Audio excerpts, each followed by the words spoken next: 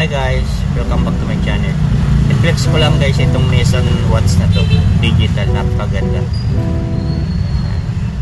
Ganda ng kanyang ano, gray color. China ang base, pero ang makina niya magandang klase.